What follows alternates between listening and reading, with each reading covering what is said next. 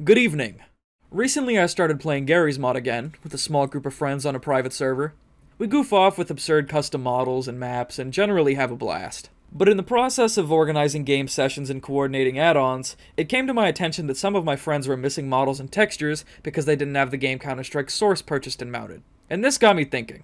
See, without assets from Counter-Strike Source mounted, playing Gmod online without running into problems is nearly impossible. Custom game modes like Prop Hunt and Murder are often played on Counter-Strike maps, servers for Dark RP or Sandbox often make use of Counter-Strike weapons, and custom maps often utilize Counter-Strike props and textures. So if you try to play online without these assets mounted, you're going to eventually be met with gaudy missing textures and error signs. And if it's a map you're missing, you might even get flat out booted from the server. In fact, Counter-Strike Source assets are so essential to the Garry's Mod experience that somewhere along the line the Gmod team actually bothered implementing tofu versions of the player models and weapons, just to try and help the game stand on its own. While this makes Trouble in Terrorist Town playable on select levels, it doesn't account for the rest of the missing textures and models that new players will have to deal with if they have any intent of playing online. Steam used to promote a bundle that included both CSS and Gmod together for just 15 bucks, and I have no idea why they stopped doing this. Nowadays, both games are $10 each, and while that might not seem so bad, I'm of the opinion that if it isn't sold as part of a package with Gmod, CSS should just be free.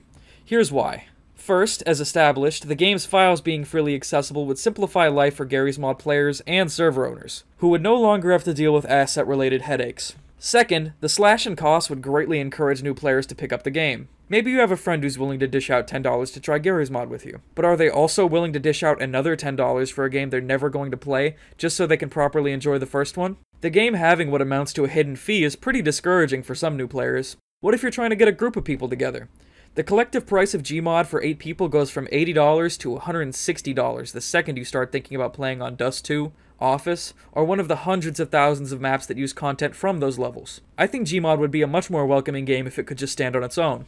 Third, CSS being free would make it legal for people to redistribute its assets online, which would help the greater source modding community a lot. Many early source mods, like SMod Tactical, also relied on Counter-Strike assets, but nowadays their mounting systems are broken because of complications from the source engine being updated. If Counter-Strike assets could simply be downloaded online, life would be a lot simpler for anyone trying to play or tinker around with these classic mods. Fourth, I think CSS should be free because frankly I see no reason for it not to be. Making a 15 year old game that sees maybe a couple thousand sales per year free to play would not have a notable effect on Valve's profit margins at all.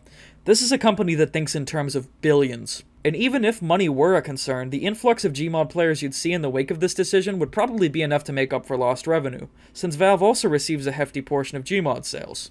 Some might say that CSS going free would detract from CSGO's success, but the primary player base of Source is veterans from an era gone by, so it's not at all a welcoming game for new players. If someone's trying to get into Counter-Strike, they're gonna go play the newer, prettier installment that has an alluring esports scene and a matchmaking mode designed to help newer players improve. And that brings me to my final point. If the newest installment of a series is completely free, why should the buggy, unsupported installment from nearly 20 years ago not be as well?